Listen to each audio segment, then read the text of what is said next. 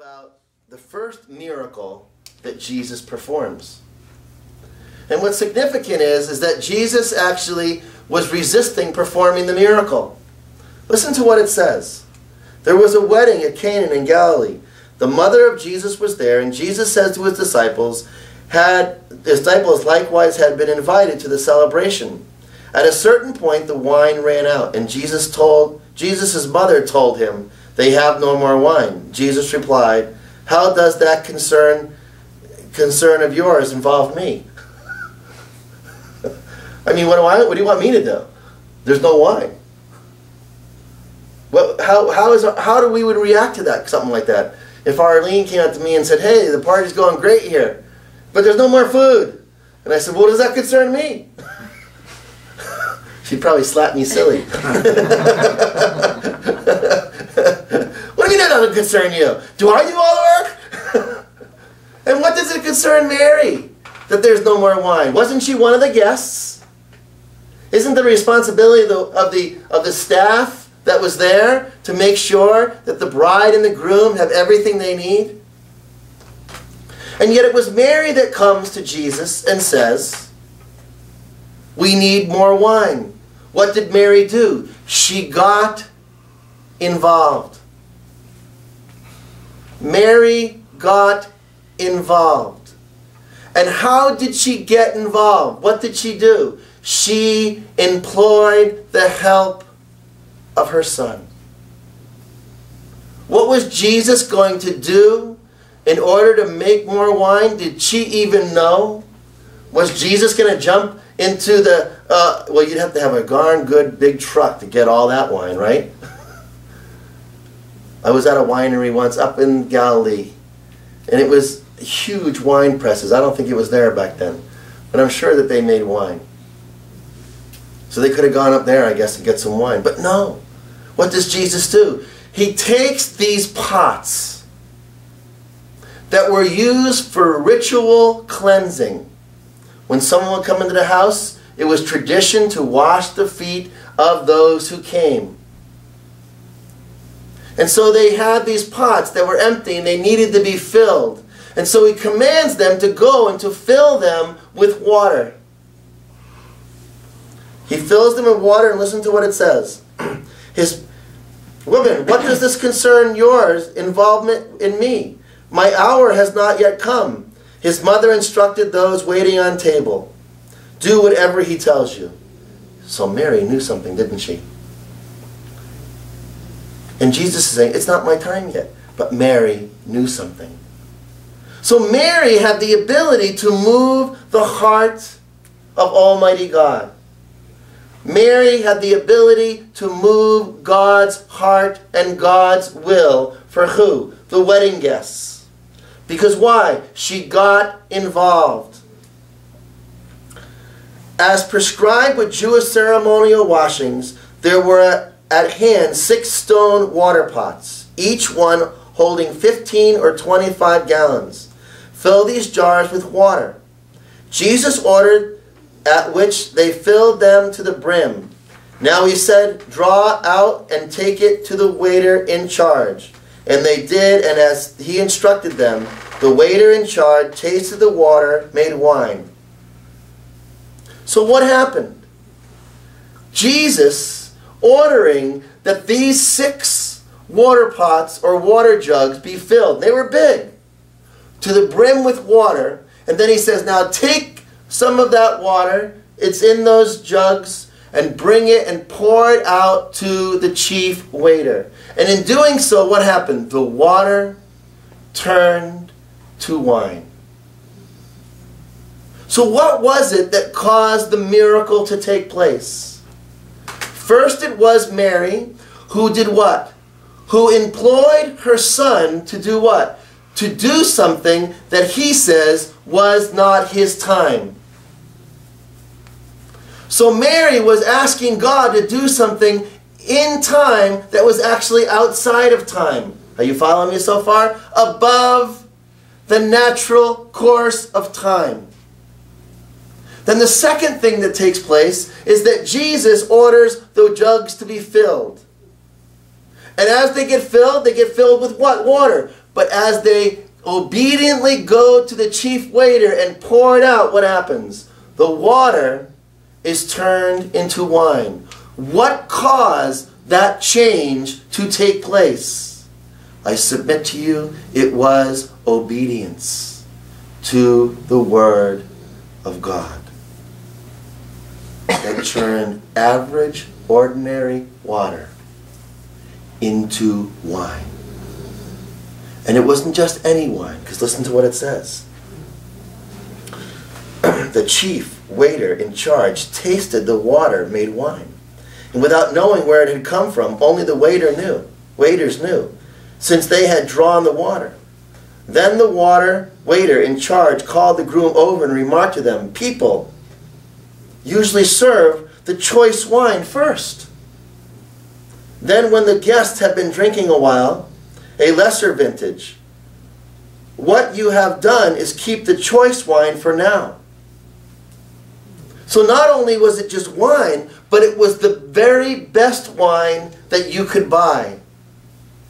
And so, God changes the elements at the very first miracle from water into wine.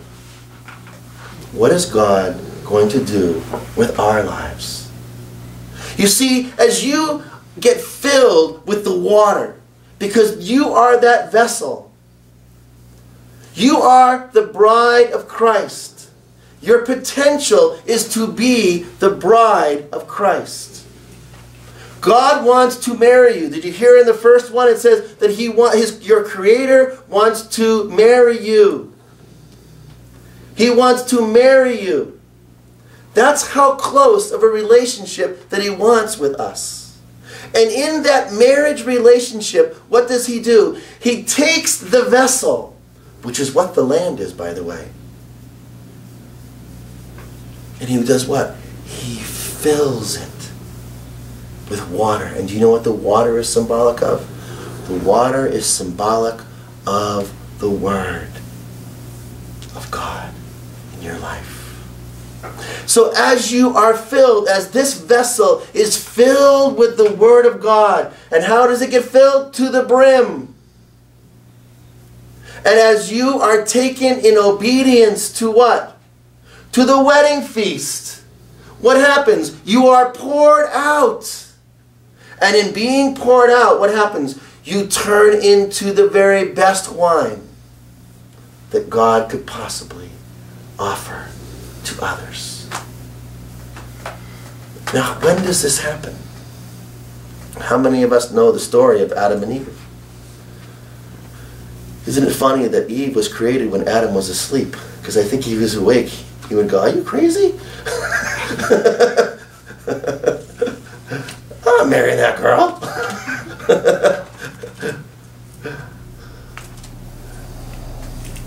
when God a miracle, a lot out there. Yeah.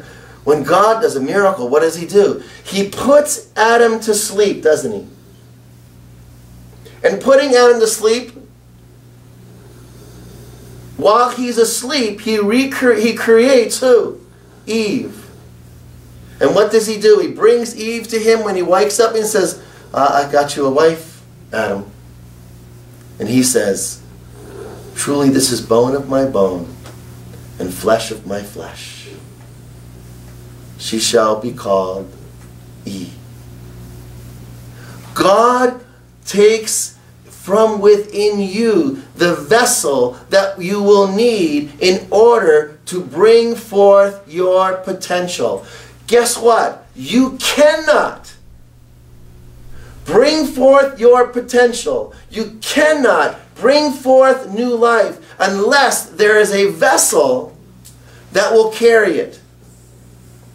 You are the vessel that God wants to use to do what? To carry His Word to the world. You. Why?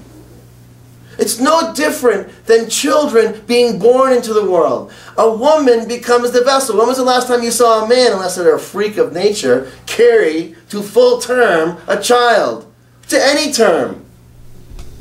Unless you read about it in the Enquirer. the only way is if you have a woman. It's a man with a womb, a vessel. Where what God does is He changes the very cells of that child, of, of, of what's going to be a child, into its potential. When you look at a little baby, what are you looking at? You are looking at potential, aren't you? Aren't we say when if we lose a child, they say they were so full of potential. They hadn't begun to live. And you know that you can take this into every aspect of your lives. You can have all the wisdom and the knowledge that you in the world. But if you can't take wisdom, if you can't take your understanding, okay, and bring it into knowledge and not bring it into reality, then what do you have? Dust in the wind. You have to be able to bring your wisdom into reality. It has to come into reality. And if you're going to learn to bring the wisdom of God into reality, the only way that that can happen is through a vessel. And that vessel is your personality, it's who you are. And guess what? It's going to rub against all the other personalities out there.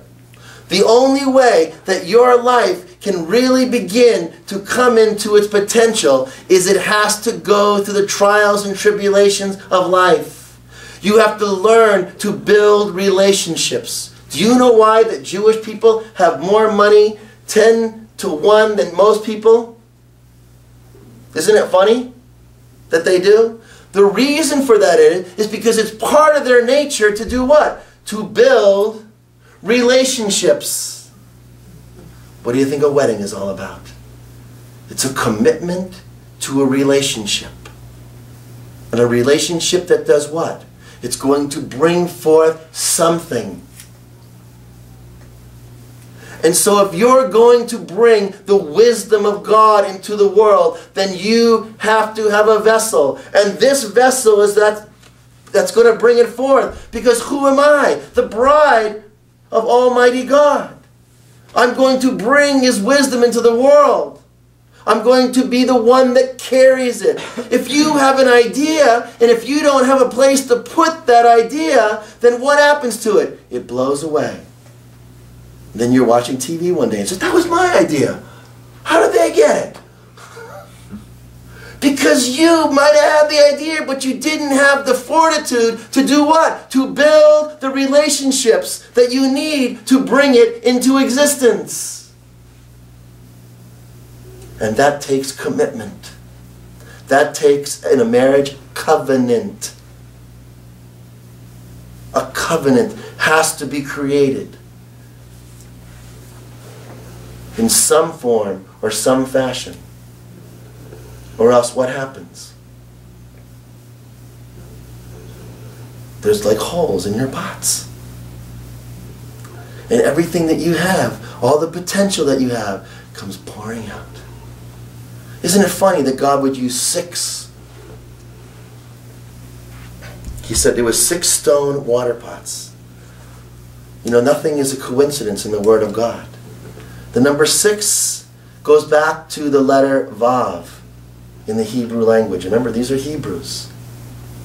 The letter Vav is a nail. How was Jesus put on the cross? He was nailed to the cross. What does a nail do? It takes the tent pegs of a tent and it puts it into the ground. So that you can do what? Sleep inside the vessel. When the nails went into Jesus' hands, do you know what happened? He became the vessel that would bring life to you. He opened the door so that you can take what was in the heavens and bring it to the earth. The letter Vav is like a stream of light that goes from the very heavens itself to the earth below. As it, it, your will is done in the heavens, so shall it be in the earth. And so it takes that vessel in order to be able to, to bring the thoughts of heaven into the earth, to bring it into reality. Are we all following today? And so when you're looking at your life, you say, I don't feel like doing it. I don't feel like moving forward. Well, the only reason why is because you need to be filled. The vessel needs to be filled. The six water pots need to be filled with what? Water. Which is what? The Word of God being put in there. And how did it become wine? How did it change that which was water into wine? It was the pouring out in the obedience of following what Jesus said to do because he is the Word made flesh. And so when you're obedient to the Word of God, not knowing anything except following the orders of what the Word of God says, you turn what was water not only into wine, but into the very best wine. Where? At a wedding feast where it reminds us that we need to be in covenant. And it's in the suffering of that covenant, the struggle of that covenant, that you build a relationship with your God, that you are able to change the world. That God is able to change the world through you. No different than when we have the wine and the bread here, turning that into the very body and blood of Jesus Christ. So we have a great blessing. God asked us for the next six days to work. To work. Believe me, by tomorrow morning, Neil, will you be working? Crack of dawn, working. The same struggle every single day, every single week, working. And what God wants to do is He wants to take that vessel, that work, and He wants to fill it with His Word. So you begin to learn the instructions of Almighty God, and you can take that which seems like just plain old water and turn it into wine. Turn it into wine, into the finest wine. Where is the finest wine served? At the finest tables in the world, right? You don't bring cheap wine to some king, do you? you want the best wine. They say, give me that best wine. I don't know what the best wine is because, you know, I usually can't afford the best wine. Are we following today? Do you see how God can work? That means in every circumstance, every problem, if you can see it in the light of His Word, guess what? Wow. You can see how God can bless you. You can see how God can build a life that is so valuable and to reach your potential. A miracle takes place. And so pray today that that miracle will continue to take place in you. And may the Lord add a blessing to his word.